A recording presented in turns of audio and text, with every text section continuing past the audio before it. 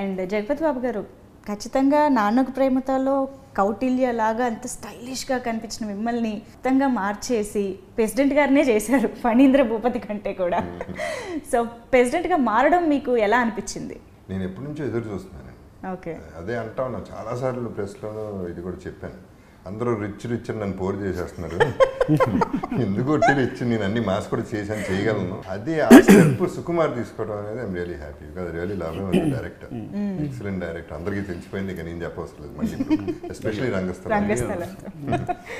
So ఈ character ఆ president అనేది ఆ ఫీల్ నాకు ఎప్పటి నుంచో కావాలని కోరుకున్న క్యారెక్టర్ అనమాట అది డ్రీమ్ కమ్ ట్రూ లాగా తను ఇచ్చాడు. చాలా ఈజీ సో మీ ఊహల్లో ఉంది ఎలాంటి ఒక క్యారెక్టర్ ఇది అసలు నేను ఆలోచించాను ఇది నా ఊహలో లేదు. ఓకే అని చెప్పింది. Okay yeah I loved it character I loved it కాదు నిజం చెప్పాలంటే జగపతి బాబు ఒక బ్రాండ్ అని ఇవాళ తెలుసుకున్నాను నేను.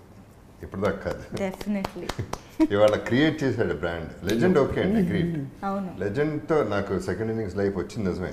బట్ ఐ వుడ్ సే నా కెరీర్లోనే బెస్ట్ క్యారెక్టర్ అయింది. Thank you thanks to you